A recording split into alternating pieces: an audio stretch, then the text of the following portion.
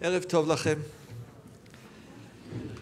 Um, הערב, ממש הערב, זה היורצייט החמישי של אבי זיכרונה לברכה, um, שכל הכנס הוא בשמו והערב um, זה לזכרו. Um, אני גם שמח, חלק מכם ראו מה יט. Um, הספר הלפני האחרון שלו, On God Who Hates Lies, יצא עכשיו, um, היום, בעברית. That's your picture? I picked your picture? עם תמונה של האימא שלי. זה מה שאמרתי.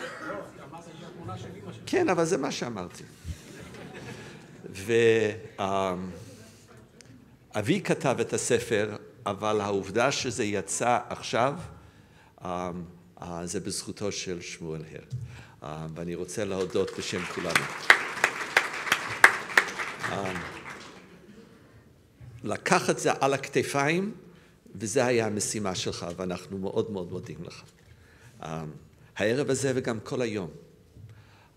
יש המון המון אנשים שעבדו ועמלו, אבל יש אישה אחת שעשתה מעל ומעבר, שהחזיקה את הכל, ושום דבר היום לא היה קורה בלי רונית דוקובסקי.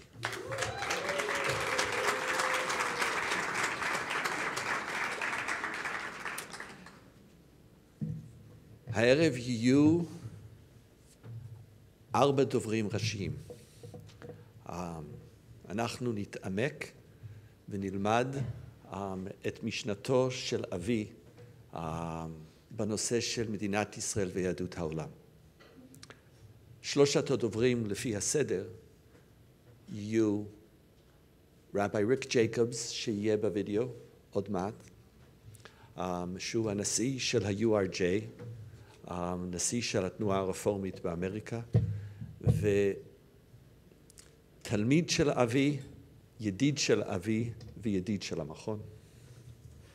ושני תלמידים שאבי אהב מאוד, ידידים ו... Um, it's a little age gap, אבל... Uh, uh, והם אחרי ריק ג'ייקובס, ינאם רננה רביצקי פילזר, שהיא ראש בית המדרש במכינה הקדם צבאית וחוקרת כאן במ... What did I say? It's been a long day. ואבי שגיא, תלמיד וגם מורה וידיד וחברותה עמוק של אבי במשך עשרות בשנים, וחוקר כאן במכון הרטמן. הדובר הראשון הערב יהיה אבי. Um, הוא ידבר, um, בזכות עבודה מאוד מאוד מאומצת של אלן אבי, שעבר בעשרות עשרות הרצאות של אבא שלי בווידאו, ואסף תקציר של דבריו על הנושא, ותקף אני הכנתי דברים קצרים, וזה פשוט מרתק להשוות בין מה שהכנתי um, לבין מה שאתה מצאת. אז בואו נתחיל את הערב. Um, אבי היה אז, אז בן 56, ב-1987. Um, בואו בוא נשמע מאבי, בבקשה.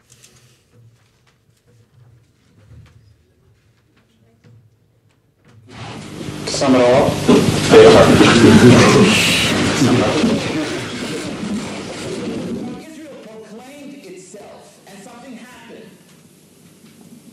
It didn't ask the Jewish people for its loyalty, it received it because the Jewish people saw in Israel something very deep to its own national historical consciousness. Israel captured the Jewish world in a strange way, not only in terms of Aliyah, not because of a, a hatred against persecution. In some very deep sense, Israel mediates the sense of a continuity in history that is essential to the Jewish experience. To be a Jew is not just a merely a leap of faith. It is not just a, a sect organizing around certain dogma. An essential feature to Jewish self-understanding is a commitment to a people and to a people's history. And Israel captured the imagination of the Jewish world as the filter, as the mediator, as the generator to this larger historical consciousness. There is one people now, a people that in some way feel that their whole sense of identity as a historical people is now channeled by Israel. Without Israel, they lose their historical memory. Without Israel, they lose their historical consciousness. And therefore, to continue being a Jew without Israel is non-conceivable. And I think it's a strange, bizarre, and absurd argument. Will the diaspora continue if there won't be Israel? I think in the deepest sense, for myself, when I came after 67, I realized that I could not continue. I didn't realize how deep Israel had penetrated into my own consciousness. So it's not a question of two centers. There is one people. Some live here. Others live here in a certain way. Naturally, we want them to come here. The first priority is the well-being of this community, but not if it is the exclusive value of the Jewish people.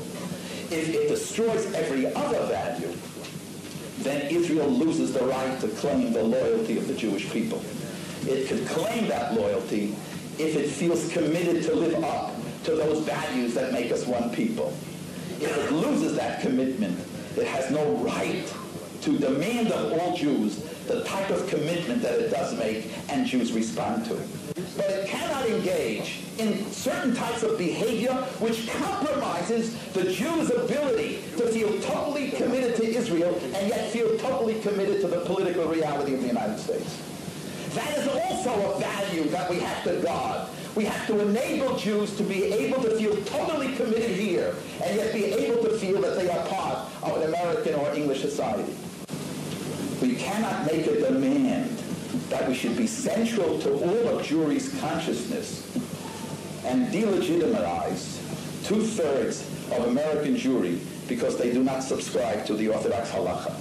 The very meaning of Israel today for the Jewish world is that Israel had the chutzpah to proclaim that Jews can have a home, although they are so deeply and ideologically divided. I mean, it would have been easy in the Middle Ages where there was some normative consensus to come home, and yet being so divided means that Israel is prepared to force the Jews to be together, although they ideologically are divided. So Israel then is the center of keeping Jews talking to each other, disagreeing with each other, but never feeling delegitimate. You cannot say you're the home of the Jewish people and yet not admit that the Jewish people's self-understanding is in debate. We are a people who have come home to argue about our memory. And that's a marvelous thing. In coming home, we've discovered that we don't know who we are. And that sense of not knowing who we are in coming home is one of the most exciting challenges of building a people who are yet divided.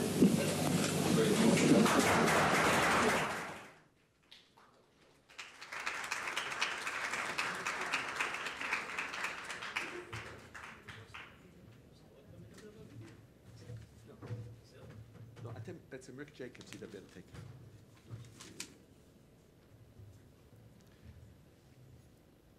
הרבה פעמים כשאתה חי עם בן אדם, אתה מרגיש כמה הוא חשוב, אבל אתה לא באמת מבין כמה הוא חשוב. כשבן אדם לפני שלושים שנה יכול לתת נאום שהוא היה יכול לתת היום, ואמר אותו לפני שלושים שנה, ומרגע שהוא עלה ארצה, הוא הבין שקורה כאן משהו במדינה שדורש מאיתנו חשיבה עמוקה אחרת. ולפני ארבעים שנה, שלושים שנה, הוא אמר את אותו הנאום שכל אחד במכון הרטמן היום היה מתגאה להגיד אותו. אני זוכר, יש לנו תוכנית במכון שנקרא I Engage. זה שם מאוד מודרני, I Engage, מה זה ה-I הזה? זה אייפון, we thought we were going to be cool, קראנו לזה I Engage, איך אתה הופך לימודי יהדות למשהו cool. אז קראנו לו I Engage. ואבא שלי ראה אותנו בונים את התוכנית ומגייסים כסף ומדברים עליו ומדברים עליו. פעם הוא שאל אותי, דניאל, could you explain to me what's I engage? אמרתי לו, אתה זוכר ב-1976 נתת נאום שנקרא um, um, From Auschwitz to Sinai? He says, sure. I said, that's I engage. אנחנו בעצם, מה שאתה אמרת בשנות ה-70, אנחנו ב-2011-2012 הופכים את זה לתוכנית חינוכית. האינסטינקט שהיה לך, ראית משהו, הבנת משהו. הכוח הזה הוא כוח מיוחד במינו. והערב אנחנו uh, זוכרים. וכפי שאני אומר כל שנה, um, ואני מרגיש את זה כל שנה כשאנחנו ביורצייט של אבי, um, הדבר שהוא הכי פחד ממנו, הדבר שהוא שנא באופן הכי עמוק, זה שהוא יישכח והוא יהיה לא רלוונטי. ואנחנו פה, תלמידיו וידידיו בבית המדרש הזה, כשאנחנו זוכרים, אנחנו לא זוכרים את מה שהיה בעבר, אנחנו מתחייבים לתורה שממשיכה לחדש וממשיכה לדרבן אותנו יום-יום. עכשיו, כפי שאתם רואים באידיאולוגיה של אבי בנוגע ליחס בין יהדות ישראל ליהדות העולם, היה אמביוולנטיות מאוד מאוד עמוקה. הוא היה אמריקאי ברמ"ח איבריו ושס"ה גידיו, ששלל באופן עמוק את הגולה. אתם יכולתם אפילו לשמוע בווידאו. יש יהודים שחיים כאן, ויש יהודים שחיים כאן in a certain sense. And as my mother knows all too well בבית שלנו, אחת האמרות של אבי שהיה משגע את כולנו, היה ההגד שלו כשהוא היה אומר, in the sense to which, ואני עוד זוכר את המריבות בין אמי לאבא שלי. Um, דובי, there is no term in the English language in the sense to which. There is no term. משום שאני יכול להגיד, אתה פה in the sense to which that you're... אני יכול לרב... אבי בכלל לא אהב מסגרות. אז the sense to which אפשר לו להגיד את הדבר בהיפוכו באותו זמן. ולהגיד מה אמרתי? אמרתי the sense to which. I didn't say they're not here, they're here. אז פה שמעתם. יש יהודים שחיים כאן, ויש יהודים שגרים פה באופן אחר, אבל הם לא גרים פה. לא, לא, לא, הם גרים פה, אבל באופן אחר. אבי האמין שהתורה החדשה תיכתב כאן בארץ. שהתורה, מה שיעצב את משמעות החיים בעתיד, יתייצב מתוך המציאות של ריבונות, ריבונות יהודית. כאן, כעם ריבוני בארצנו אנחנו נחדש את התורה וניצור תורה שיכולה לשרוד, להתקיים ולהשאיר את העם היהודי בעולם המודרני. זה יקרה כאן. אנחנו, הוא האמין שישראל הוא מרכז העם היהודי. לא היו שני מרכזים. היה מרכז אחד בלעדי, והוא עלה ארצה כדי להיות חלק מהמשחק שקורה כאן. אבל כחלק מהיכולת שלו לחשוב אחרת, הוא לקח את הרעיון הזה ואמר, אבל בגלל שאני חושב שבישראל אנחנו יוצרים את היהדות התוססת, החדשה, שיזין את העם היהודי, שיעצב שיח חדש בעם היהודי, הוא לא חשב שהוא שולל את המציאות והקיום של העם היהודי שלא גר כאן. כי מציון תצא תורה, אבל הוא יוצא לאיזשהו מקום. אם כל היהודים בציון, אז אין כי מציון תצא תורה. התורה תצא מכאן. אבל בגלל שהתורה יוצאת מכאן, זה לא אומר שאין לנו מחויבות ליהדות העולם. אבי לעולם לא התחבר לנרטיב שיהדות העולם, במיוחד יהדות צפון אמריקה, הם על, הם על סף חורבן. הוא בכלל התעלם כמעט לחלוטין מהנושא של אנטישמיות, הוא לא רצה לשמוע. הוא רצה, בשבילו יהדות הוא שיח בין, בין העם היהודי בתוך העולם המודרני, והשואה בעצם מערער את העולם המודרני, את היכולת שלו ליצור את הגשר הזה. בטח שיהדות העולם קיימים. והוא לא יתחבר בכלל לסכנות שהם, שהם מתחברים. לא, הם קיימים. עכשיו, אני צריך ללמד אותם. ישראל מהבחינה הזאת, אתם שומעים אותו, שייכת באופן הכי עמוק לעם היהודי. משום שהוא המשרת של העם היהודי. לא בעלייה, אלא בתורה, בהגות.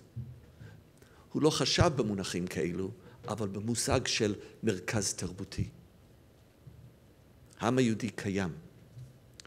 וכמו שכל מורה יודע, אתה לא יכול להיות מורה אם אתה לא רואה את התלמיד. ישראל צריכה להיות המורה דרך לעם היהודי. אבל אתה לא מקבל את זה בכפייה, אתה צריך להרוויח את המעמד הזה. וכדי שישראל תגשים את ייעודה, היא צריכה לשמוע, היא צריכה לכבד, היא צריכה לאפשר דו-שיח אחר עם יהדות העולם, כדי שאנחנו נוכל להיות המורים שלהם. לבסוף, אבי, האהבה הכי גדולה בחיים שלו הייתה ללמוד בחברותא, כמו שאבי, כמו שהרבה מכם מכירים. חברותא טוב, זה היה יום טוב. אבי חי מהתודעה של שמע את האמת מפי אומרו. הוא לא חיפש חברותות שהן דומות לו, הוא תמיד, חיפש חברותות שאיתן הם יכולים ללמוד. עם ישראל שרוצה להיות המורה, צריך לכבד את התלמיד, אבל גם צריך להיות מסוגל ללמוד מהתלמיד.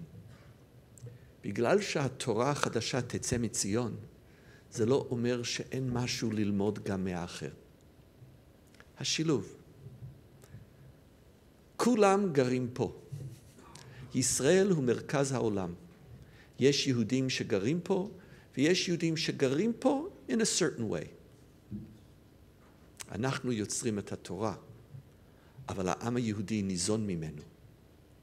ועלינו, כדי להיות שליחי ציבור של העם היהודי, אנחנו צריכים להרוויח את המעמד הזה. לא נרוויח את זה על ידי הפחדת העולם, נרוויח את זה אם אנחנו נהיה השראה לעולם. להיות השראה עם העולם, מרכז העולם, בשביל העולם.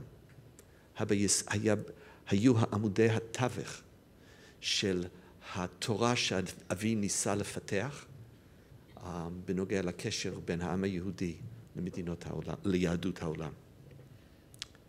עכשיו, כבוד לי, אה, שוב, אה, ריק ג'ייקובס, שנמצא עכשיו בארצות הברית.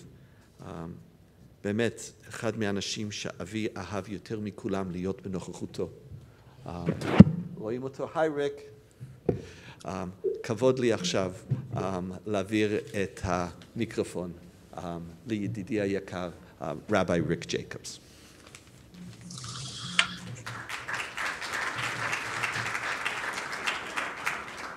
תודה דניאל, ערב טוב לכולם.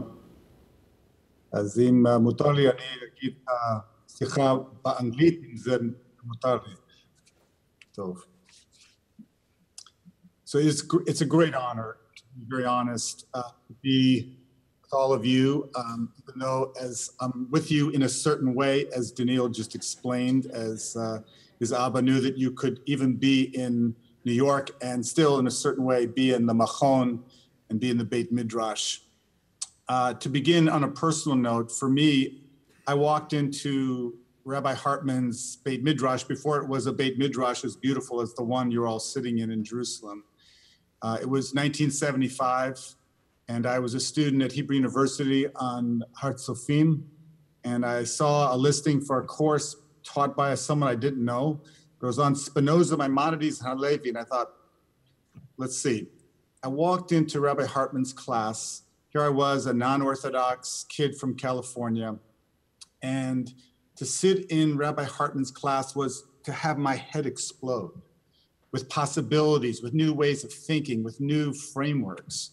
It was as if I had been sitting in the dark uh, for years and someone found the light switch, turned on the lights to a conversation that I, at that moment, had not imagined, let alone had participated in.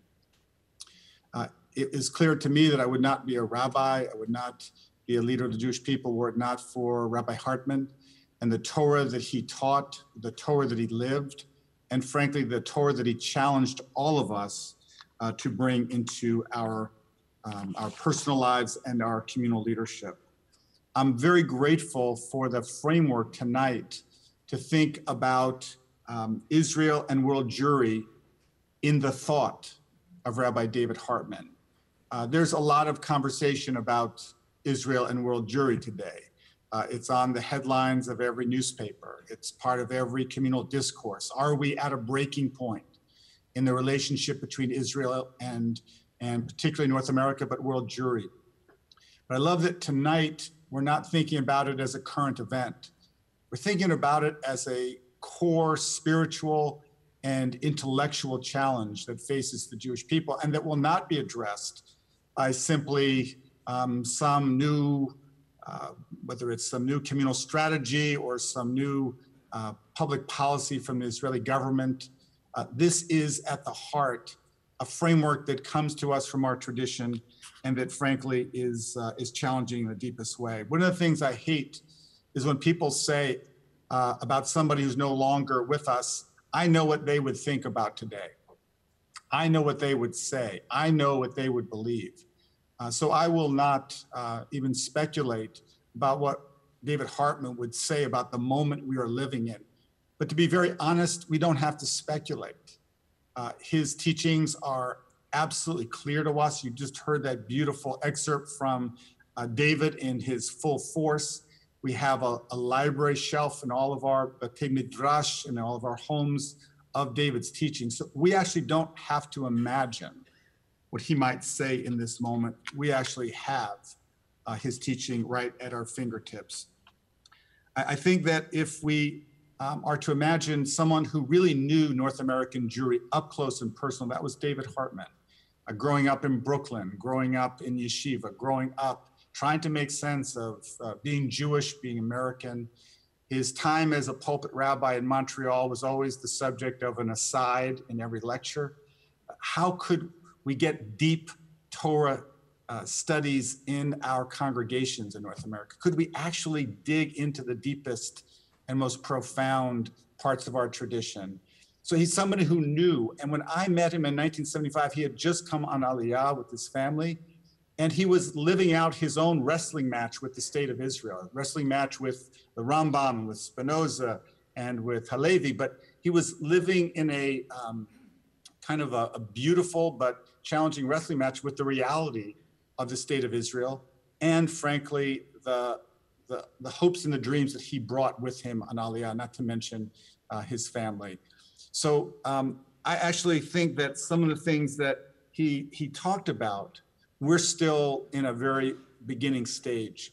Uh, so many in, uh, in Jewish life have been, you know, biting their nails, looking at demographic studies, uh, but for Rabbi Hartman, I think the key framework that he gave to us is how do we build a sense of Jewish community out of shared meaning and not out of shared suffering? I mean, the, the reality of the Shoah was real to him, it's real to us.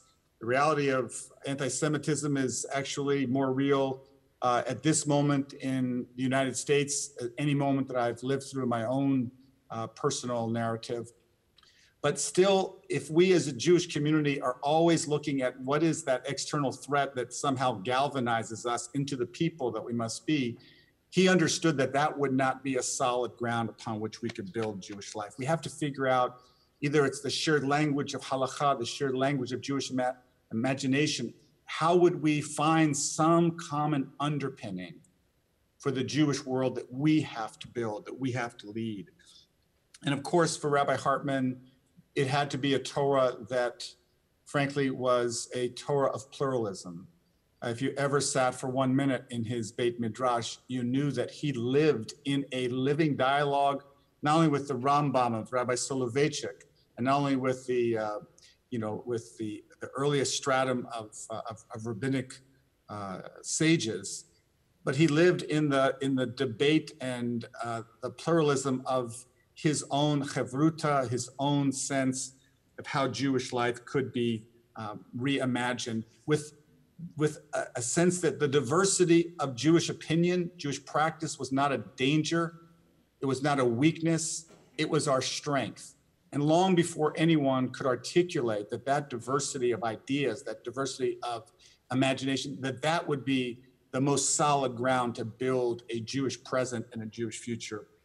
I believe that is one of his core teachings. And you might think it's ironic that Rabbi Hartman's Torah of pluralism may, in fact, be growing more uh, vibrantly in, in North America than maybe in many places still in Medina Israel. And I don't think that's necessarily ironic. I think it's the result of a lifetime of, of teaching and inspiring students like me and so many thousands of others from Orthodox, conservative, reform, secular, Reconstructionist backgrounds, that that Torah of pluralism has been planted and is growing and is frankly reshaping North American Jewish life in the most exciting ways. Um, to state the obvious, official Judaism in Israel today often uh, takes that Torah of pluralism and makes it into a caricature uh, with the coercive rabbanut, the coercive, uh, I would call it the ultra Orthodox religious establishment. So often the nuance and the depth of that Torah of pluralism is lost or is uh, squelched. And what we see is that the Torah of pluralism isn't something David made up. Uh, it's in the sources, it's in the very marrow of our tradition. And it's something that we obviously need to develop and certainly grow. I'm just going to say one word about something that actually I don't remember hearing David talk about. And I don't uh, mention something about the Kotel because I think it's the most important issue facing the Jewish people. I do not. I think the symbolism of the Kotel is a framework to understand what Rabbi Hartman's teaching was about. So the idea that there should be a place at the Western Wall for all of us, not some of us, not just the most traditional among us, is in just in, in many ways obvious. And the idea that, you know, if one is a Haredi Jew, that there should be a place that is both safe and affirming and um, allowing of my religious practice, of course. But why wouldn't there in that place be the option to live out a pluralism in physical, real space? To say, Elu ve'elu. There's a men's section, a women's section, and a place for those who, first of all, want an egalitarian, pluralistic Judaism, and those who aren't sure where they fit, that they could find a choice, that the notion would be that there's there's actually uh, authenticity in many different expressions of Jewish life. And I think that that project is, you know, is, is delayed to be sure. But the symbolism of doing that to Kota says that we can do it not only in the state of Israel, that we can make the state of Israel everyone's Jewish home and also the home for citizens who are not Jewish. But to say that that's that's everything is obviously not my point. My point is that we have to figure out how to do that as a Jewish people, as the enterprise of the Jewish state, and ultimately, we have to figure out how we make space for the ones, particularly, who are so different from us, who believe and pray and vote differently than we do. Where, where, where is their place within this society? Where's their place within Jewish life? Where's their place within the Beit Midrash of David Hartman? The answer is right in the very center. Uh, one of the things that's distressing, and I know it was talked about earlier today, is this idea that uh, right now Israel and particularly world Jewry, there's there's kind of a dissonance. There's a, a disaffection. There's a distancing that is both real and painful. And I think that you know um, I want to give just an example of how not only many in the Israeli government, but many many Israelis throughout society in Israel uh, have come to view North America in particular with with I think not only distance but with frankly, uh, a misunderstanding. So it was uh, a couple of weeks after the Israeli government, in a 15 to 5 decision, decided to create an egalitarian pluralistic prayer space at the Western Wall. And a couple of weeks after the decision, I heard Minister Yariv Levine on television say that it is crazy and a waste of time to give, uh, particularly North American Jews and those within the state of Israel, this alternative. He said, you know, the Jews in North America will be gone. They're going to assimilate, they're going to intermarry. And it's, it's frankly important for us to acknowledge that they will not be with us for very long. Someone in the prime minister's office said, You should, Rick, you should go talk to Minister Levine because he has some very out of uh, touch ideas about North American Jewry. I said, Well, you know what? Um, he worked for the prime minister. Maybe the prime minister should speak to him. He said, Well, he did, but you should as well. So I went, uh, I was in the Knesset for meetings, and I, I wasn't sure exactly how to talk to uh, the, the tourism minister, but I was walking down one of the back halls towards a meeting, and there he was walking to me. So I put out my hand, I introduced myself, and he said, I know who you are. I said, I know who you are. And I heard you on television speak about um, particularly North American Jewry in a way that says you don't know us. Um, you said that we are at the door of Jewish life, helping all of the remaining Jews out of Jewish life. I said, You're right that we're standing at the door of Jewish life, but you got the direction wrong. We're not helping anyone out, we're helping uh, many, many in to Jewish life. And I said, If you're the tourism minister, why don't you come? Why don't you come spend time in our Batei Midrash? Why don't you come to our synagogues, our summer camps, our youth movements? Come and see the vitality and the vibrancy of our Jewish community. Uh, I'm still waiting, but I'm still happy to host him. And I don't suggest that because we have the answer in North America to what ails the Jewish life and the Jewish community. I am, I am firmly convinced that we are in a moment where there are two vibrant centers of Jewish life. And in the way that many of us have worried about the lack of pluralism within Israeli society and within Israeli governmental policy, uh, one of the things that keeps me up at night here in North America is actually how do we inculcate the sense of peoplehood that Rabbi Hartman lived. He, he loved walking the streets and seeing the diversity and the, and the incredible mix that is the vibrant state of Israel. How do we do that in North America? How do we not become obsessed with the latest demographic study? One came out this morning it came out from the San Francisco Jewish community, which is one of the most liberal and, frankly, one of the most uh, exciting Jewish communities. And we find more news that confirms what some would say. It tells us that only 11% of Jews 18 to 35 uh, years old said they were very attached to Israel, which is opposed to 25% of those 50 or older only 37% of American Jews ages 18 to 34 said that Jewish, the Jewish state was very important. Now, you can hear those things and say, we're done.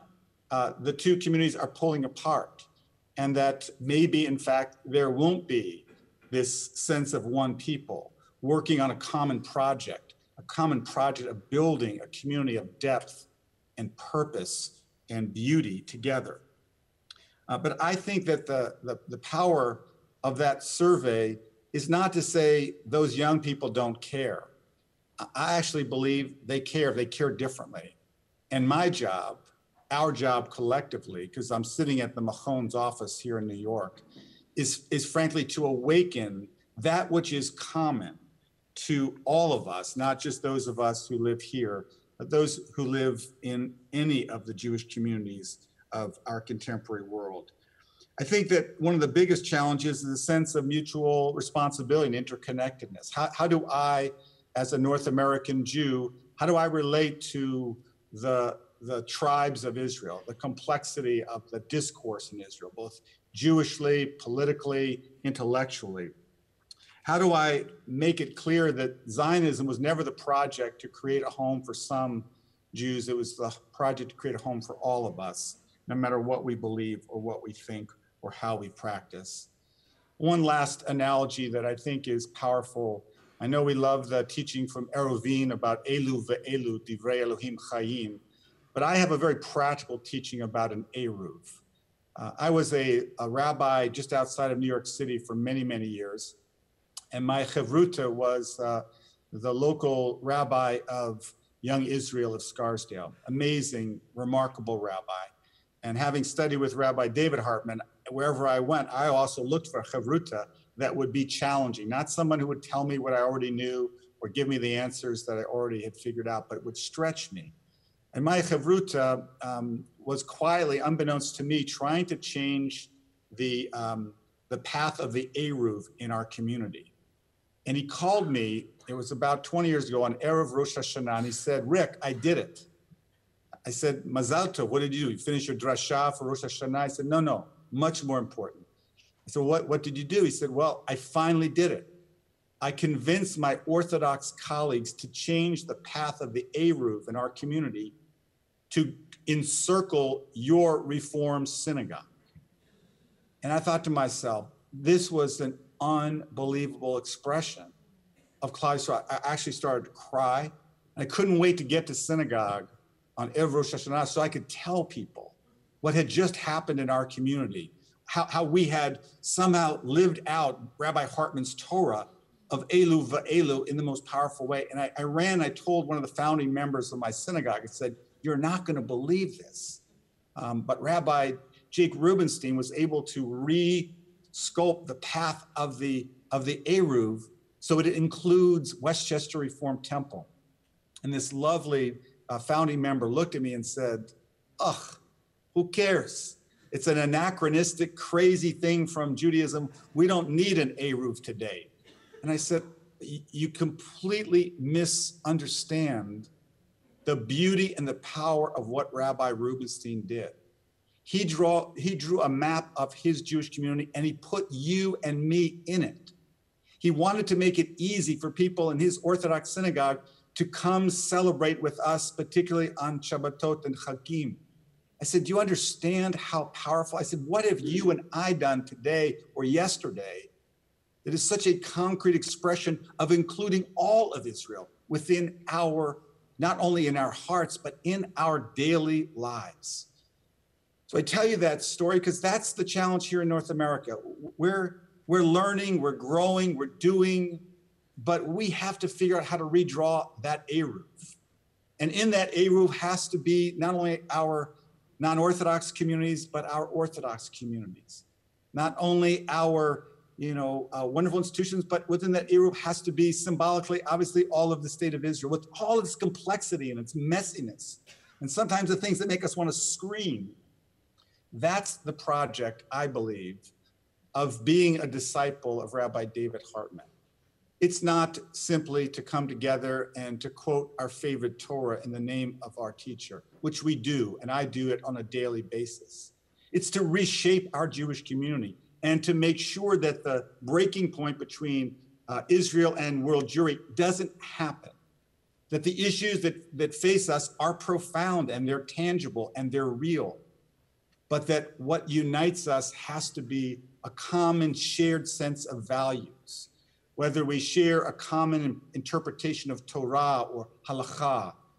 But if we can't share that, that we have some larger vision of Jewish life that isn't simply to survive, but to be a force for good in the world, to be a force for, for ethics and for morality in Israel and throughout uh, the world as we know it.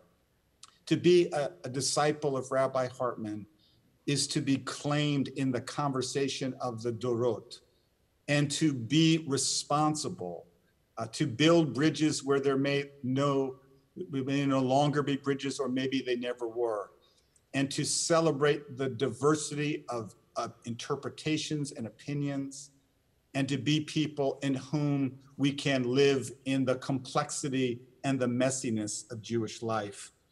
Uh, we know the image that he loved perhaps most of all of the, um, the words of Sota, make yourself a heart of many rooms, and bring into it the words of the house of Shammai and the house of Hillel.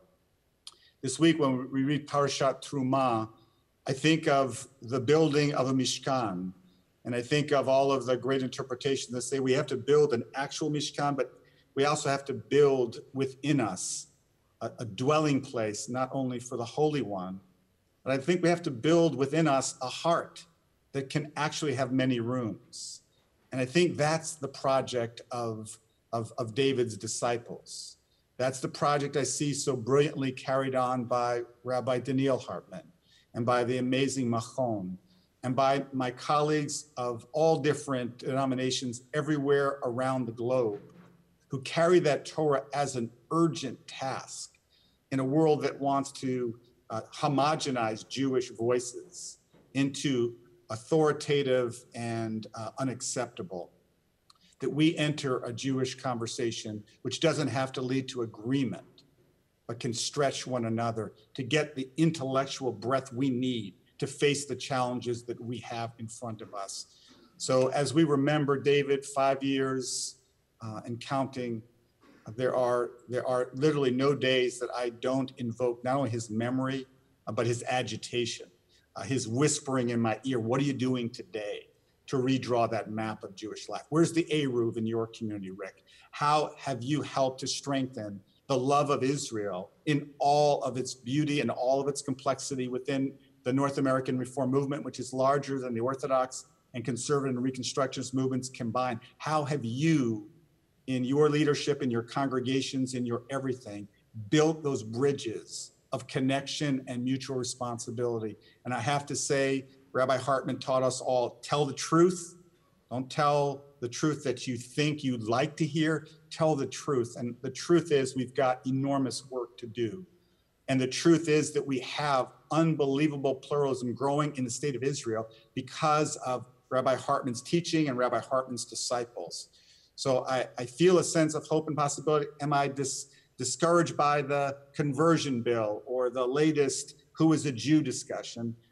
That's not the bedrock upon which we build our Jewish lives and our Jewish communities and our relationship among uh, the Jewish people. We have to build it on Torah.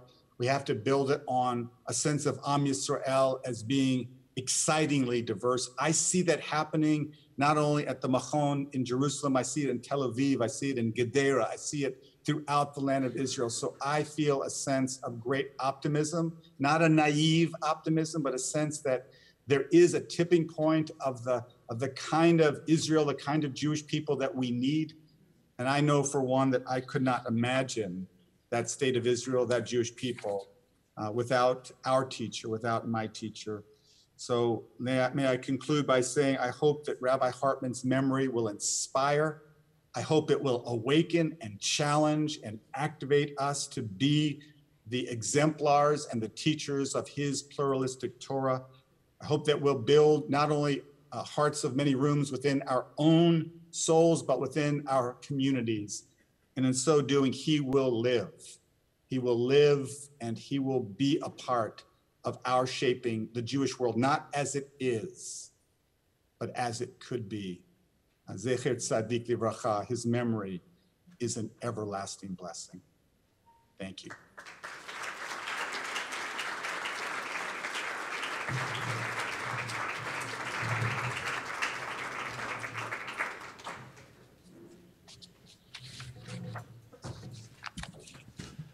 Thank you, Rick.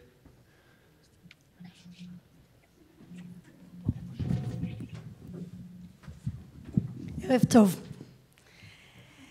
אני זכיתי ללמוד אצל דוד שנים משמעותיות בבית המדרש של המכון, וזו הייתה עבורי חוויה מכוננת ומעצבת.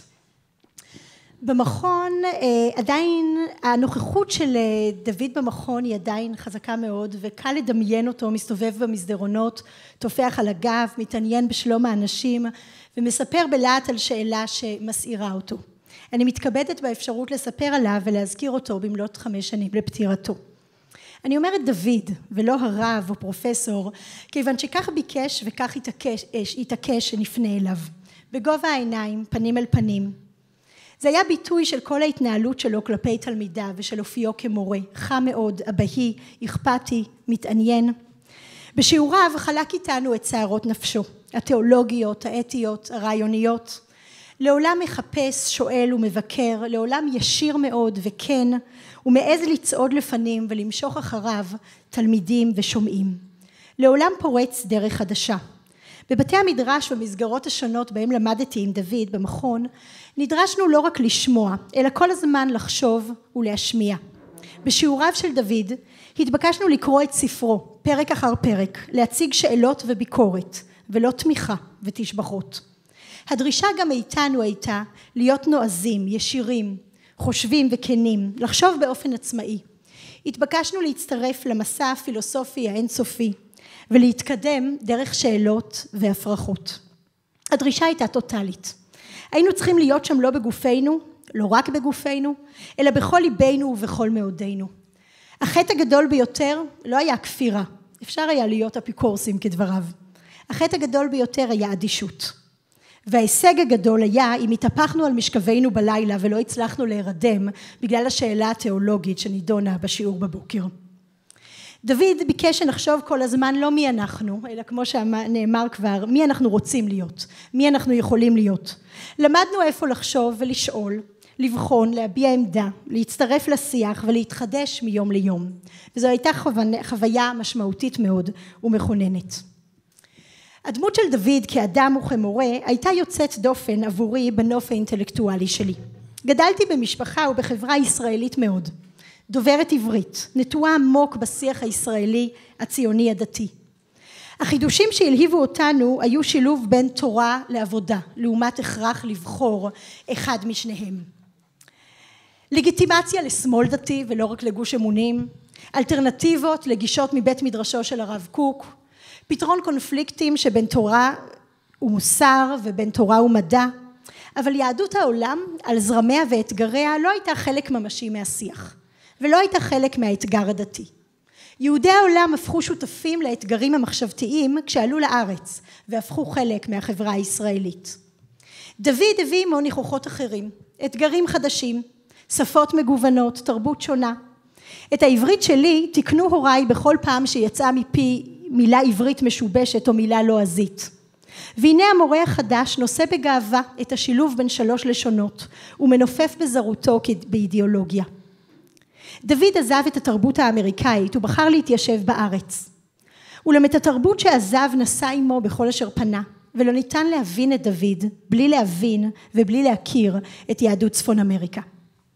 כשעלה לארץ עמדו בפניו כמה דרכים. יכול היה לשלול לחלוטין את התפוצה והגולה על מנת להוכיח כי בחר בדרך הנכונה בעלותו לארץ. במובן מסוים הוא עשה זאת.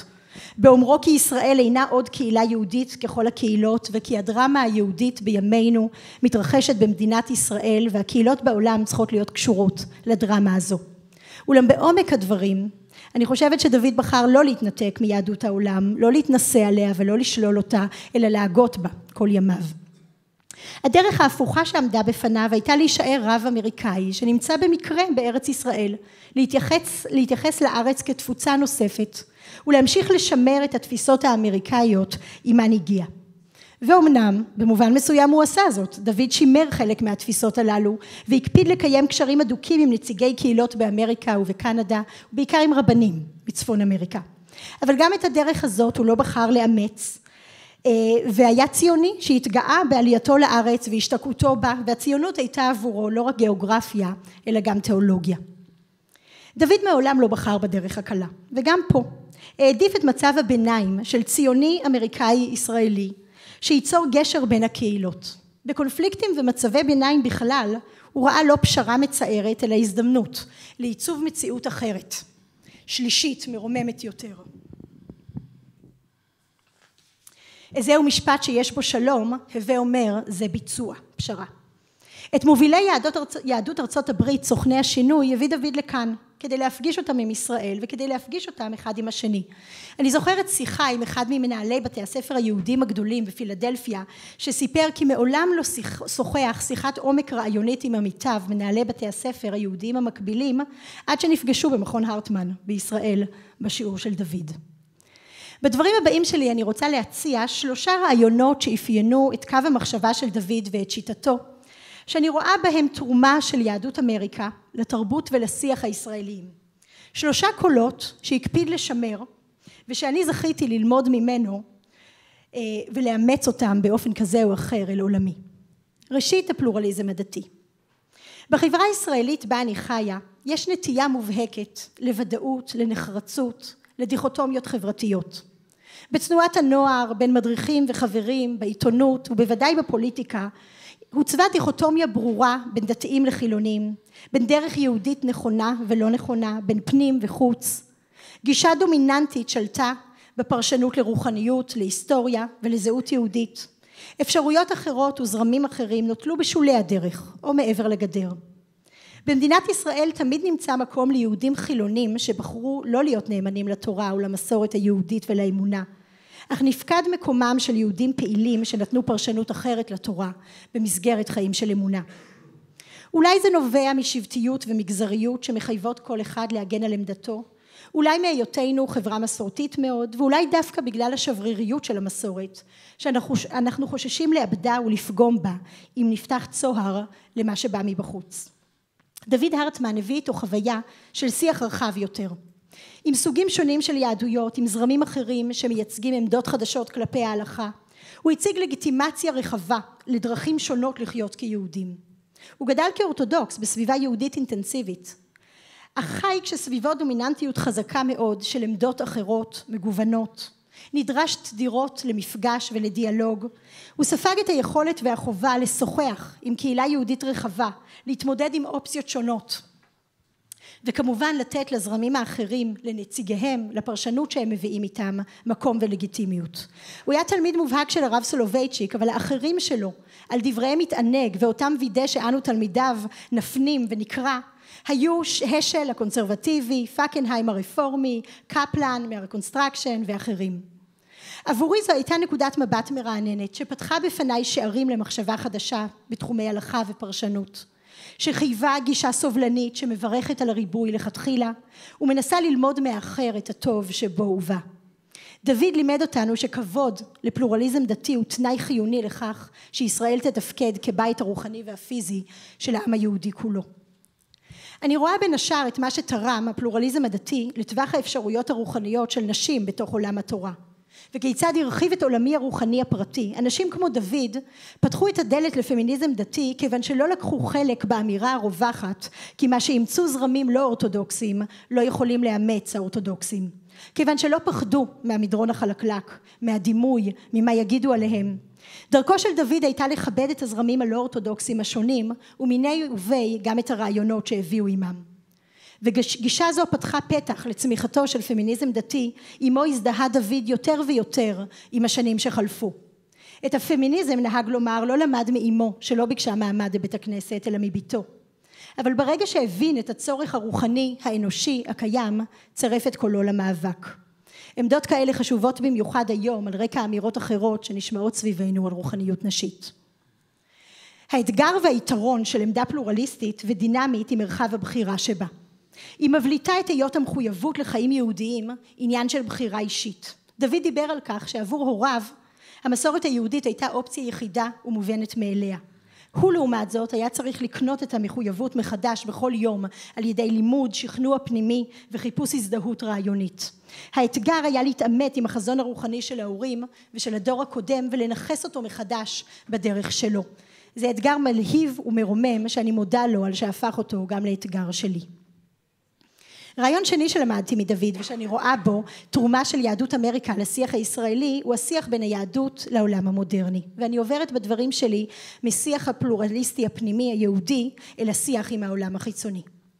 במדינת ישראל אפשר לחיות בגטו יהודי, גטו עשיר ונפלא שיש בו תחושת שייכות ומשפחתיות ויש בו אין סוף הזדמנויות ללמוד את חוכמת ישראל ולהעמיק את הזהות הקבוצתית. אך עלייה וקוץ בה המסגרת ההומוגנית עלולה לסגור עצמה בפני תרבויות ועמים אחרים, בפני חוכמת העולם, ולהציב חומות אטומות שלא מאפשרות כניסה והשפעה.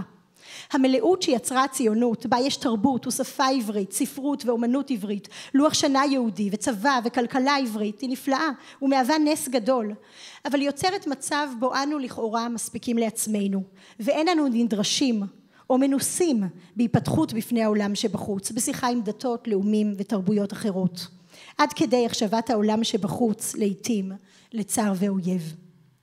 דוד חשב שהיהדות חייבת להיות בשיח עם העולם החיצוני, שתפקידה של ישראל להיות גשר אל העולם, שהשואה סגרה את הקשר בין היהדות למודרנה, אבל הציונות פתחה אותה מחדש.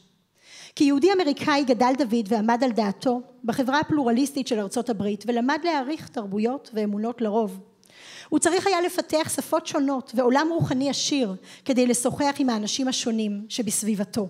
בישיבה מחד ובמשחק כדורסל מקצועי מאידך, בישיבה יוניברסיטי מול רבניו ובאוניברסיטה מול מורה נוצרי נערץ. דוד הרטמן ראה בכך זכות ולא כורח, רווח ולא מחיר, עושר רוחני ולא צמצום. אולי לכן אהב כל כך את הרמב"ם, שחי גם הוא בעולם אינטלקטואלי עשיר ומגוון, בו שכנו זו בצד זו פילוסופיה יוונית שהפנים, והעולם היהודי לא היה מחויב ואותו עיצב. הרמב"ם ראה השלמה ולא סתירה בין מחויבות להוויות אביי ורב מחד ולתורתו של אריסטו מאידך. את אפלטון כינה אלוהי ולא חשב שבזה הוא פוגע בקודשי ישראל. הלכה ופילוסופיה כוננו עבורו שתי פרספקטיבות דתיות חיוניות ותקפות. דוד כותב בהזדהות מרובה על העולם המורכב של יהודי ימי ביניימי שמחויב להיסטוריה יהודית ולהלכה כמו גם לתפיסות אריסטוטליות של מדע הטבע והמדע האלוהי. זו לדבריו מורשתו של הרמב"ם ליהודים בכל עידן המחפשים דרך להביע את מחויבותם ואהבתם להיסטוריה היהודית ולמסורתה כמו גם את ערגתם לאלוהים. הרעיון השלישי שהיה חידוש שהביא עמו דוד מארצות הברית היה היחס להלכה והלגיטימציה המוגברת להתחדשות הלכתית. התחדשות הלכתית קיימת מאז ומעולם בכל מקום ובכל קהילה. אבל המבנה הישראלי בו ההלכה האורתודוקסית היא חוק מדינה ובה תקציבי דת הם ביד רבנ, הרבנות הראשית ורבני ערים מקשה על חירות של קהילות ושל יחידים להעז ולפרש ולהתחדש בעצמם ומגבילה את כוחה הפרשני העצום של ההלכה דוד בא מעולם של קהילות, בו יש לכל אחת מהן מרחב גדול להיות שונה מרעותה, לפתח הלכה, להנהיג מנהגים. כל קהילה נושאת עיניים כמובן לקהילות השכנות, לגדולי הדת, ללגיטימציה של חבריה, אבל הקהילות בתפוצות פטורות מהמערכת המרכזית השולטת בתקציבים. הן לא מגייסות את המשטרה לשמר את תפיסתם ההלכתית בכותל, או את הכנסת כדי להעביר חוקים דתיים. חופש נוסף שמאפיין את התפוצה היהודית ומגביל את ההלכה הנכתבת בארץ היא האחריות של חכמי ארץ ישראל לשימור המסורת שבאה עם המגורים על אדמת הקודש במקום אליו נושאים יהודי העולם את עיניהם שינוי הלכתי שנעשה בארץ ומתקבל על ידי הממסד מתפרסם מיד ונתפס כמשפיע על יהודים אחרים בעולם ידיעה זו מצמצמת גם היא את החופש ליצור ולהתחדש דוד הביט בהלכה במבט אחר גמיש ורחב יותר ורצה לדחוף את ההלכה, לאתגר אותה ולשאול עליה. ולא רק בדברים הקטנים. לא היה ברור לו שצריך לצום בתשעה באב אחרי תקומת מדינת ישראל, לא היה ברור לו שמעמד הנשים המודרניות צריך להישאר כפי שהיה בעבר, לא היה ברור לו שצריך מבחני רבנות רשמיים כדי להסמיך רבנים. את ההלכה הוא ראה ככלי ולא כמטרה כשלעצמה. בעל ההלכה לא היה דמות טכנית שגוזרת פסיקתו מהמקורות באופן מכני שמיישם כללים פורמליים, אלא היה צריך להיות יוצר ומורה דרך שמוביל את קהילתו בדרך התורה באופן שישקף את רוח התורה ולא רק את חוקיה. ההלכה שלו לא הייתה הסדרה טכנית של החיים, איסור והיתר, אלא מהלך תיאולוגי, תחום חדש של שאיפה רוחנית, כלי קיבול חדש לאלוהים, מערכת שיש בה את הכוח לכונן חיים מלאים בתודעת השם. המטאפורות המרכזיות במסורת היהודית בהם אה, מתוארים היחסים בין הקדוש ברוך הוא לעם ישראל הם מטאפורה של אדון ועבדים כי לי בני ישראל עבדים ומטאפורה של אב ובנים בנים אתם להשם אלוהיכם דוד לא אהב את המטאפורות ההיררכיות האלה כדי לתאר את הקשר בין הקדוש ברוך הוא ועם ישראל. הוא העדיף מטאפורות אחרות. מטאפורה של זוגיות שראה בה הדדיות ודיאלוג וערך לשני השותפים, או לחלופין מטאפורה של מורה ותלמידים. כאשר המורה הוא דמות קשובה לתלמידיו, מעודד אותם למחשבה עצמאית ומעז להשתנות גם בעצמו. כך ביקש לראות את הקשר שבינו לבין אלוהיו. הרגש שאותו חווה ועליו דיבר דוד כתמצית העמידה לפני האל היה אהבה ולא יראה. ממורו הרב סולובייצ'יק למד את היראה. אבל בעצמו חידש את האהבה. אני נזכרת ברגעי הסיום של יום הכיפורים, תפילת נעילה בקהילת שירה חדשה לפני כחמש עשרה שנים. השקיעה רחוקה, מרחק דקות אחדות, ואנו עוד בליבה של חזרת השץ. מתחיל רחש בין הכהנים לבין הגבאי. האם לצאת ליטול ידיהם לקראת ברכת כהנים, שהרי ההלכה אומרת שאם שקעה השמש אין הכהנים יוצאים לשאת כפיים. אחרי רגעים אחדים התמונה מתבהרת והגבאי מסמן לכהנים שלא יטרחו לצאת ליטול ידיים כי כבר לא תתרחש היום ברכת הכהנים. דוד הרטמן זיהה את התנועה הזאת של הגבאי ומיד ניגש לנזוף בו באופן שכל הקהל שמע אותו. איך יעלה על הדעת לוותר על ברכת כהנים ברגעים כאלה כששערי שמיים פתוחים? בגלל דקדוקי הלכה או עניין שולי כמו חושך או אור, אנחנו לא נתברך ברגעים הללו? לא יעלה על הדעת. אחרי הצעקה הזאת, הזעקה, לא היה כהן שנשאר בבית הכנסת באותה שעה, וכולם יצאו ליטול ידיהם ולברך, אשר גישנו במצוותיו וציוונו, לברך את עמו ישראל באהבה. זו דוגמה לגמישות הטכנית של ההלכה בידיו, אבל החומרה הרעיונית שבה התייחס לצורך של ההלכה לשקף אותנטיות דתית. במכתב שכתב לנו תלמידיו בסוף שלוש שנים של לימודים משותפים בבית המדרש במכון, פקפק בכוחה של סמכות ההלכה לעמוד לבדה. כך כתב לנו: עצמאות רוחנית ומחשבתית הם תנאי הכרחי לעבודת השם באהבה ולהמש... ולהמשך קיומה של היהדות בעולם משתנה. הכוח המיידי של מורה רוחני בדורנו צריך להיות כוח השכנוע הפנימי, החווייתי, הרוחני והאינטלקטואלי. לכן אלו שמדברים רק מכוח סמכותה של ההלכה עלולים לאבד דור שלם. וצר לי שכן בעומק הדברים אני סובר שישנו צמאון רוחני עמוק בחברה הישראלית. בנימה אישית יותר אוסיף, אני מפנה בקשה חשובה אחת אליכם. אל תפחדו ממה שיאמרו עליכם. אתם חזקים. אל תביטו לאחור אלא לפנים, בדור החדש המצפה לדברים היוצאים מפיכם.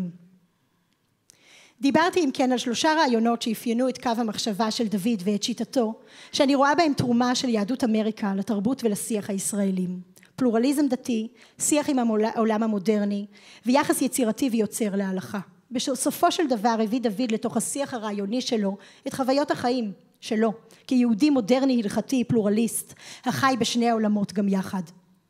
לא תמיד נהנתה החברה הישראלית לדרישותיו. הערכים שהביא אומצו על ידי תלמידיו וסביבתו, אבל לא הפכו לנחלת כל החברה הישראלית. את המכון הזה בנה כדי שאנו תלמידיו נמשיך ללכת בדרכו. אבל חרף הפער שבין התקווה לבין המציאות, למרות הצמאון העמוק שלו תמיד בא על סיפוקו, דוד לא היה אדם שמתייאש, ותמיד אמר שגם על סעודה שאינה משביעה, עדיין צריך לברך.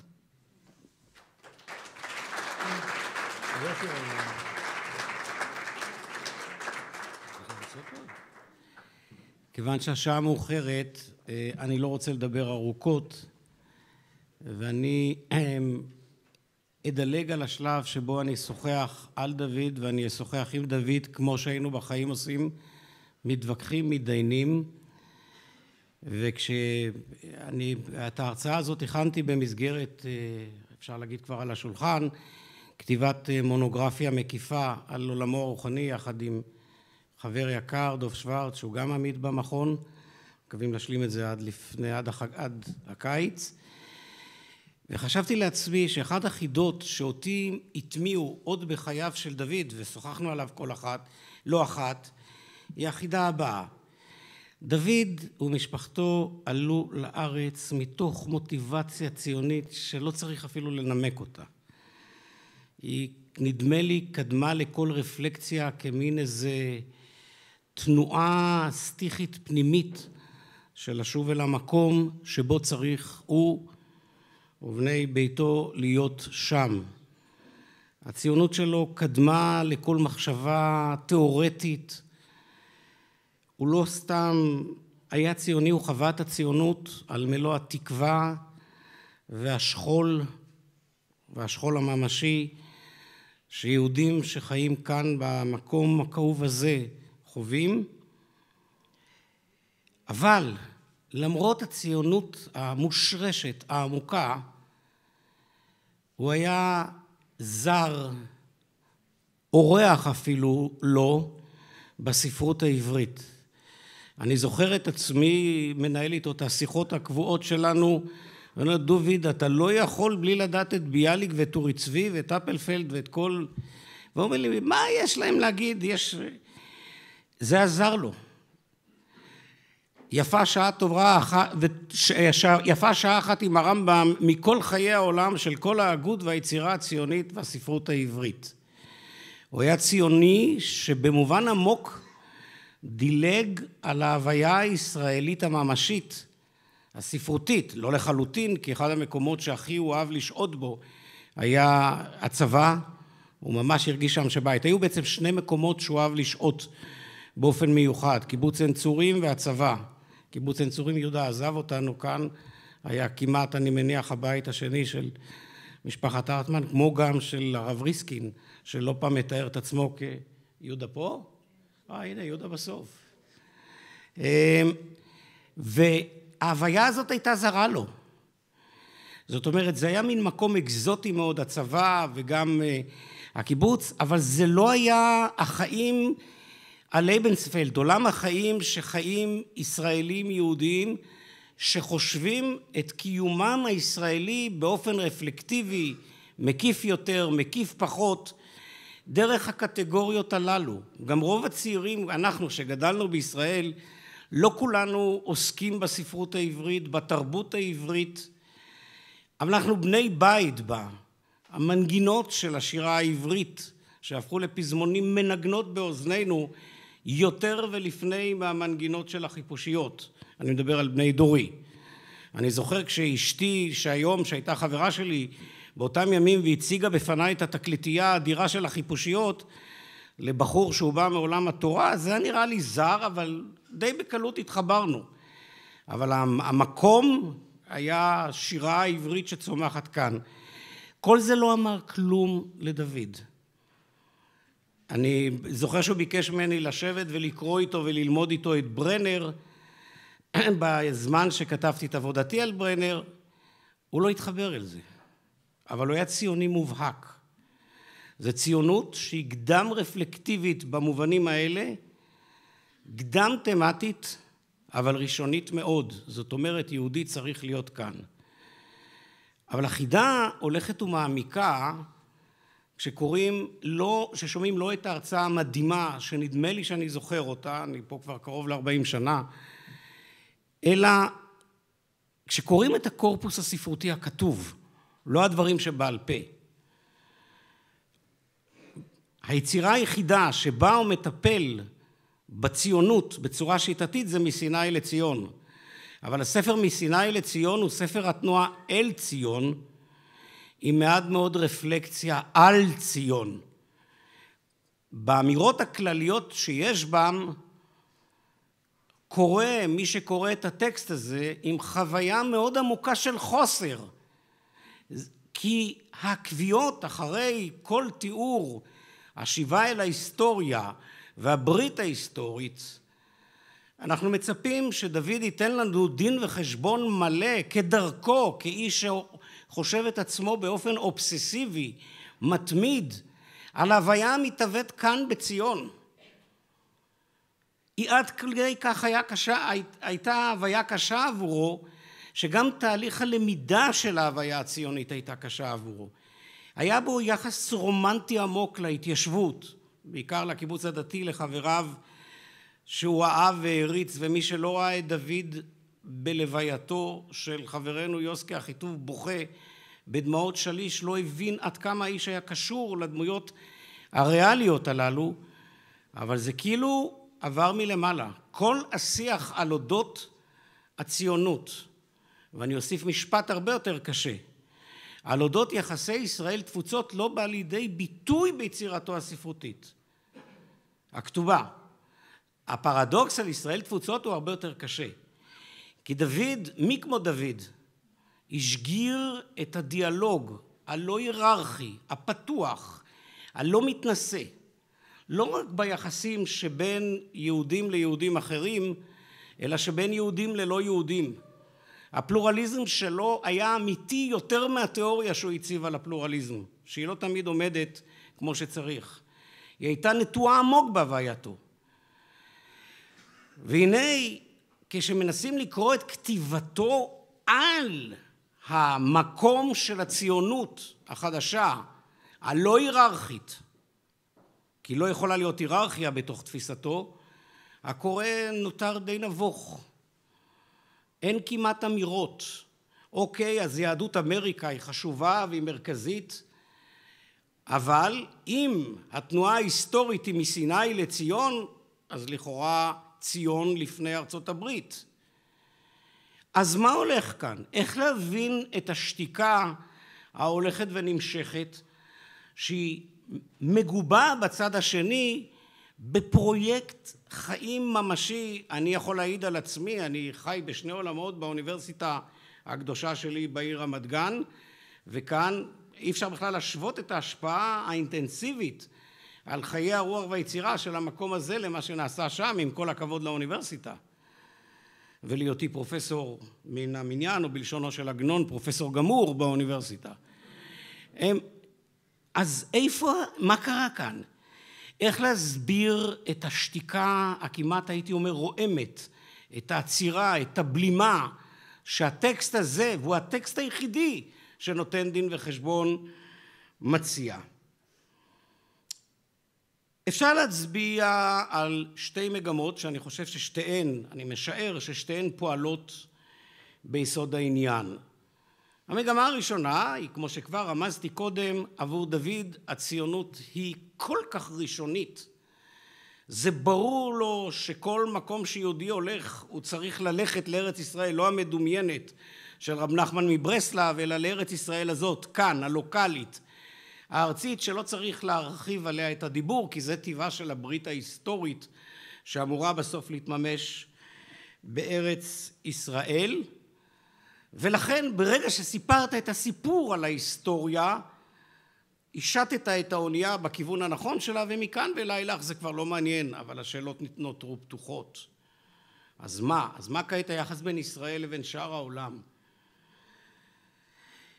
המגמה השנייה שהיא להערכתי הרבה יותר קרובה ולקח לי אני חייב להגיד שנות דור כדי להבין את מה שיש בה וזה רק בקריאה רטרוספקטיבית.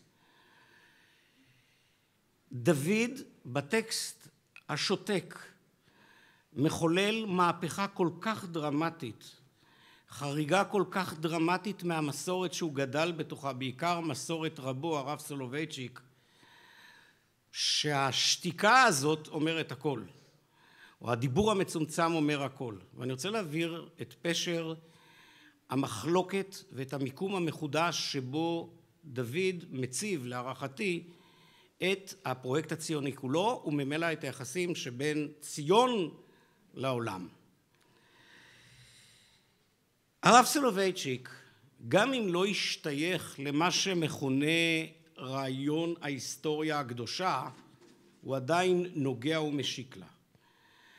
וכדי להבין את העניין הזה, אני רוצה בכמה מילים קצרות לתת את היסודות העמוקים של מה שאנחנו מכנים אייליגי גשיכטה או היסטוריה קדושה. תזת ההיסטוריה הקדושה טוענת שיש להבין את ההיסטוריה לא לאור עברה אלא לאור היעדים התכליתיים שאליהם היא מובלת. זאת אומרת להיסטוריה יש תכלית. ההיסטוריה איננה רק סיפור ההתרחשויות מהעבר עד נקודת ההווה אלא היא מוסברת מאחרית אל הראשית. הרמן כהן סבר שזהו ההבדל הדרמטי בין מושג ההיסטוריה היווני, שלפיו ההיסטוריה נעה מהעבר אל ההווה, לבין ההיסטוריה היהודית שמציבה בקצה הדרך את האידיאל של הגאולה. ההיסטוריה היא ההיסטוריה של התנועה אל עבר הגאולה. המונח אייליגה גשיכטה הוא מונח מאוד חשוב מפני שכפי שקרלוויץ מציין אייליג זה משמר בתוכו בגרמנית את המובן של ריפוי. ההיסטוריה היא תהליך של ריפוי שמובילה את העם, את היחידים, אל המקום שמחלץ אותם מהמחלה, אל המקום שבו הם צריכים להיות. הוא אבל קארי לויט עצמו סבר שהמודל של היסטוריה קדושה חל לא רק ביחס לאנשי דת, אלא גם להוגים כמו הייגל וקארל מרקס, שמושג המרכזי בהווייתם הוא המושג של ההיסטוריה המכוננת, מכוונת התכלית. אם היה משהו שהציונות החילונית עשתה, זה הייתה נתינת גט פיטורין לרעיון ההיסטוריה הקדושה. זה שיבה אל ההיסטוריה הריאלית הממשית. במקום לראות במכלול המאוויים וההתרחשויות שהעם היהודי עובר שלבים בדרך הגאולה. התנועה הציונית אמרה יש לראות את הנסיבות שהובילו את העם היהודי למצב הזה ולתקן אותם מיסודם. לא לצפות לעתיד שיהיה שם ויתגלגל באופן הכרחי, אלא להיות ריבון ההיסטוריה. במסגרת מושג ההיסטוריה הקדושה, האדם הוא תמיד האובייקט של ההיסטוריה. כי הרי להיסטוריה יש חוקיות שמגיעה אל התכלית, ואדם צריך רק להיענות לה. אבל אם ההיסטוריה היא תלוית נסיבות, אז יכול האדם לעמול כדי לתקן את הנסיבות. אם העם היהודי חי בגלות והגיע למצב של דמות צל, כמו שתיאר אותה כל כך יפה פינסקר בספרו אוטו-אמנציפציה, ואחריו ובעקבותיו אחד ה... אה, הרצל בספרו מדינת היהודים, אם התיאור ההיסטורי של היהודים כפי שהם מתארים אותם הוא נכון, ואז הפתרון הוא לא בציפייה לאיזה עתיד, אלא בפעולה הממשית האחראית שנוקט האדם מטעם עצמו ובשביל עצמו לתיקון המציאות. בדרך כלל הציונות הדתית וההגות הציונית הדתית קיבלה את רעיון ההיסטוריה הקדושה ממוליבר וריינס וסיים בהגותו של הרב קוק. לא תמיד היא קיבלה דגם נוקשה של מושג ההיסטוריה הקדושה. שימו לב שבתפילה לשלום המדינה יש ריכוך מאוד עמוק של מושג ההיסטוריה הקדושה בטענה שמדינת ישראל היא לא חלק מתהליך משיחי, אלא היא ראשית צמיחת גאולתנו, ואף אחד לא יודע מה יהיה הלאה. להפך, כיוון שהיא ראשית צמיחת גאולתנו, פונים אל האל, הגן עליה בעברת חסדיך ופרוס עליה וכולי וכולי וכולי. זאת אומרת, אין פה תהליך דטרמיניסטי הכרחי שיוביל אל הקצה, נזקקים לחסד האל ולפעולת האדם. כשזרח ורפטיג מופיע בכנס המועצות הדתיות אחר מלחמת ששת הימים בתל אביב ושואלים אותו איך נחגוג את נס של מלחמת ששת הימים הוא מבקש להפסיק לחגוג ניסים להתחיל לדאוג לריבונות. מרוב ניסים לא נדאוג למדינת ישראל. זה ציוני דתי פרגמטי. אבל כנגדם מופיעה מגמה אחרת שמנוסחת בכתבים של הרב קוק, האב ובנו, שלפיה מדינת ישראל היא חלק מתהליך אלוהי שהיודע אותה, היודע אותו, את התהליך, יודע כיצד כל שלב מוביל אל השלב הבא, כשהתכלית האחרונה היא תכלית משיחית. כל זה מכיר, זה רקע שחלקו כבר נוגע לפרויקט של דוד ארטמן, כי בפרק 12 של מסיני לציון, הרב קוק הוא אחד משני הגיבורים שאיתם הוא מתמודד. הגיבור השני הוא מורו ורבו סולובייצ'יק, שיחסו אליו מאוד אמביוולנטי.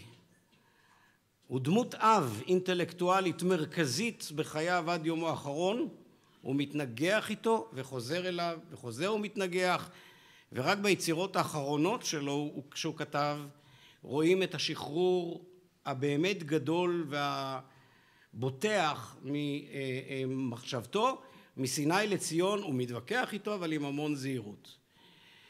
סולובייצ'יק לא קיבל את הדגם של היסטוריה קדושה דטרמיניסטית, נוסח הרב קוק.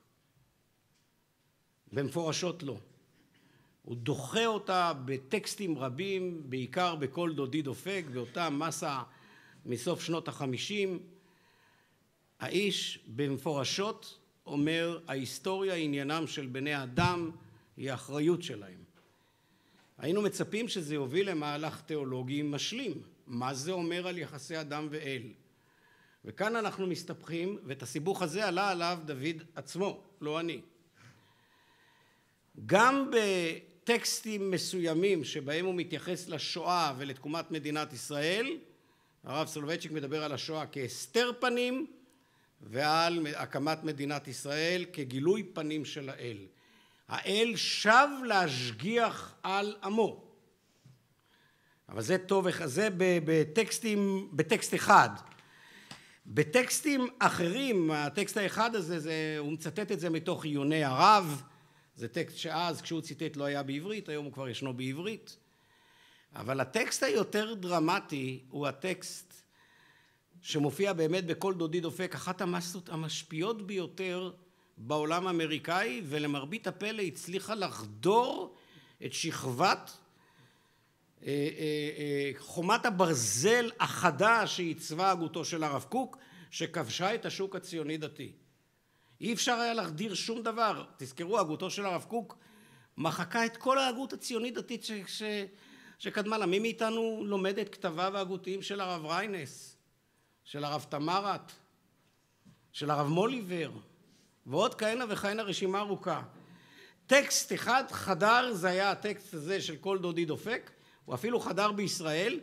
במהדורות שאני למדתי, כשלמדתי בנתיב מאיר, היה מלווה הטקסט הזה בפירוש של דוקטור יעקב רוטשילד זיכרונו לברכה. עד היום יש לי את זה, עם הערותיו של המורה שלימד אותנו באותם ימים. מה היה בכל דודי דופק? מצד אחד הוא מקבל את המודל של היסטוריה ניטרלית. מצד שני כל דודי דופק זה כל האל המבטא את רצונו בתוך ההיסטוריה.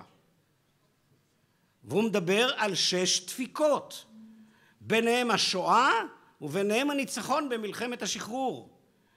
זאת אומרת, אם מנקודת מבט של היסטוריה ניטרלית ההתרחשויות האלה צריכות להיות מוסברות באמצעים כלים היסטוריים שחוקרים את הסיבות לצמיחתן, הנה מופיע קול שמבקש להציע פירוש מטאפיזי להיסטוריה האנושית כהיסטוריה שבו האל, שבה האל מתפרץ לעולם וכעת האדם חייב להיענות לאל או לסגת מההיענות לאל.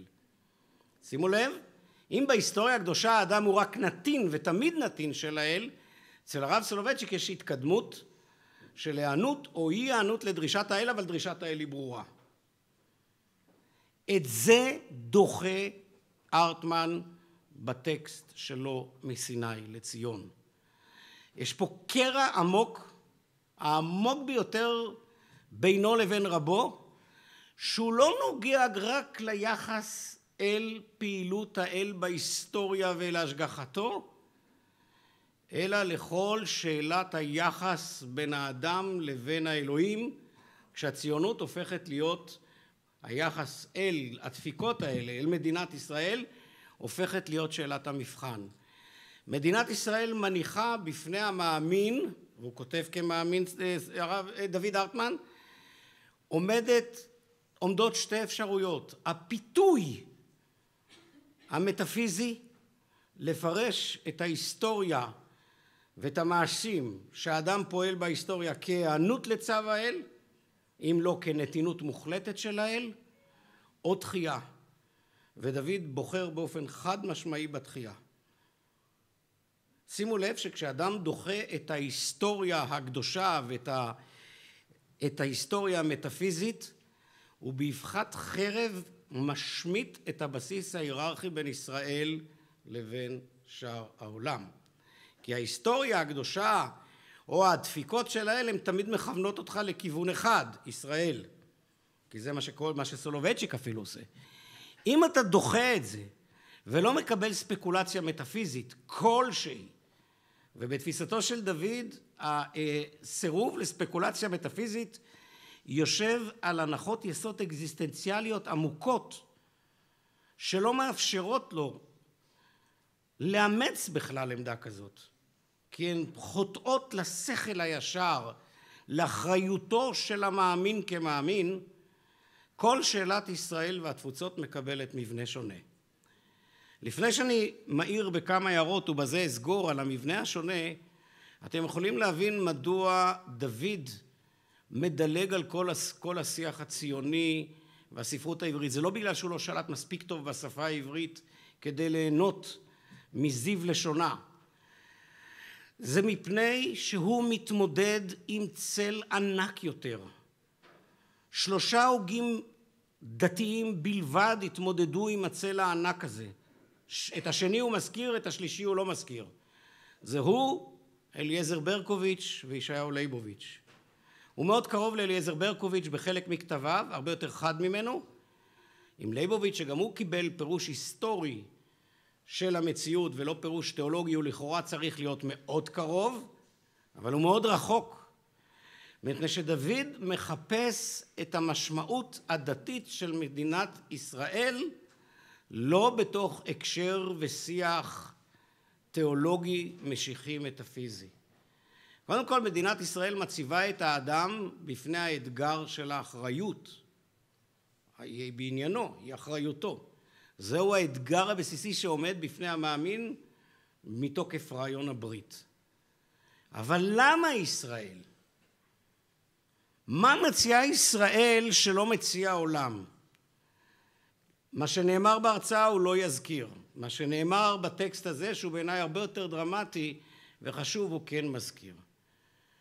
מדינת ישראל מציעה ליהודי אחריות מוחלטת על כל מכלול חייו החילוניים והדתיים גם יחד. ברוך השם מדינת ישראל מאפשרת ליהודי להיות יהודי חילוני. הוא יודע שבצפון אמריקה אין שום בעיה להיות חילוני, אבל בצפון אמריקה כשאדם הוא חילוני, יהודי הוא חילוני, אז הוא חילוני נקודה. כשבמדינת ישראל הוא חילוני, הוא יהודי חילוני. הוא לא משיל את זהותו היהודית ונהפך לחילוני, הוא בפשטות יהודי חילוני. היינו, הוא יהודי כמו היהודי הדתי, אבל אחרת ממנו.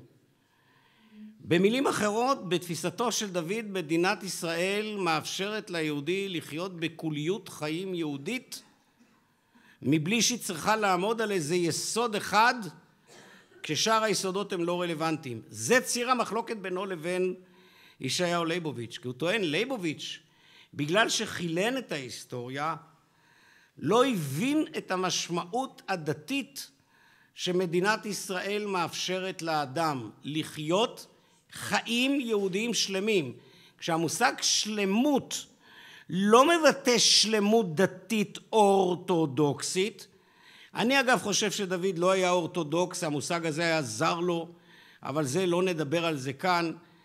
אמ, הוא בוודאי היה יהודי מחויב לתורה ומצוות, אבל המחויבות שלו לתורה ומצוות לא מנע ממנו לראות את האפשרות שמדינת ישראל יצרה, שבו אדם חי חיים יהודיים שלמים בכל מה שהוא עושה. אני זוכר שהצגתי לו תזה דומה שכותב א' ב' יהושע בבזכות הנורמליות, הוא אומר כן, כי זה הטענה של בולי. כל מה שעושה יהודי בארץ ישראל, הוא עושה את זה כיהודי. הוא אוכל בשר חזיר, הוא אוכל בשר חזיר כיהודי. הוא לא משיל את יהדותו. זה מה שהוא עושה, זה סגנון חייו. מדינת ישראל מציבה את האדם בפני האחריות המוחלטת לקיומו. וכיוון שעניינו של דוד הוא בסופו של דבר ביחס שבינו לבין האלוהים, מדינת ישראל מאפשרת לאדם לכונן יחס חדש לאלוהים שבו קולו של האל לא נשמע, אלא קולו של האדם המאמין באל.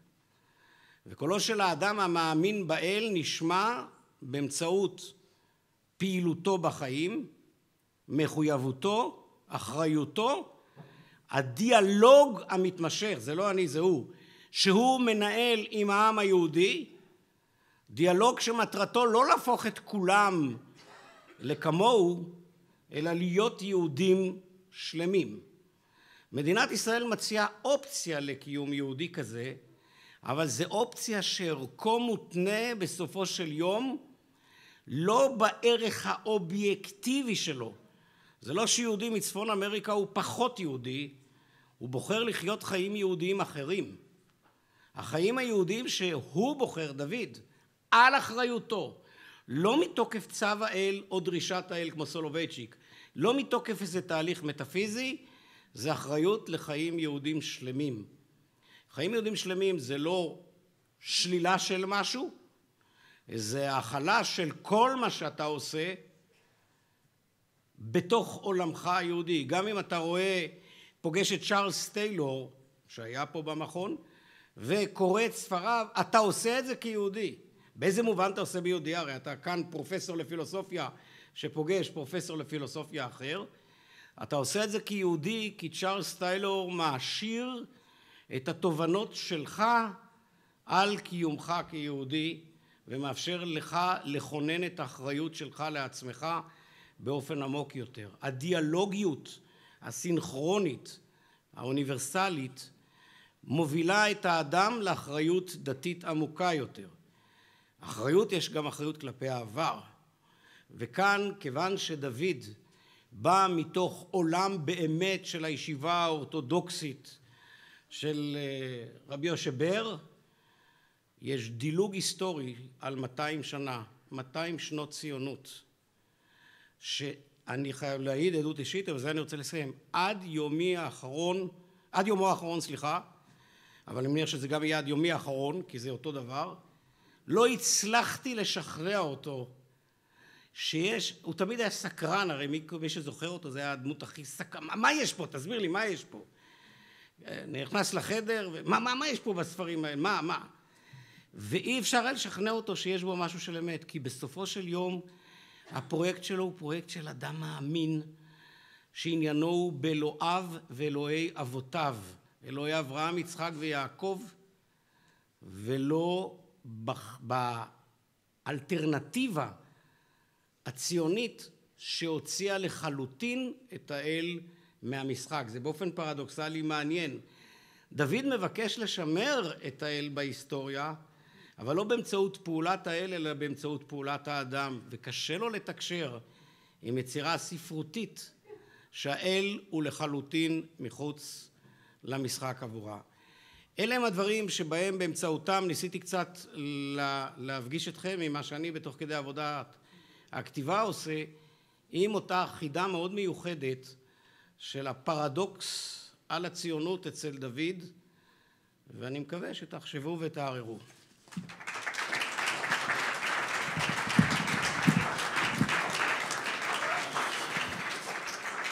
תודה רבה לאבי, לרננה, לריק. האמא שלי רק ביקשה שאני אגיד לכולם, צריכים לזכור שאבא שלי גם לא קרא ספרות באנגלית. תודה רבה שבאתם היום. לילה טוב.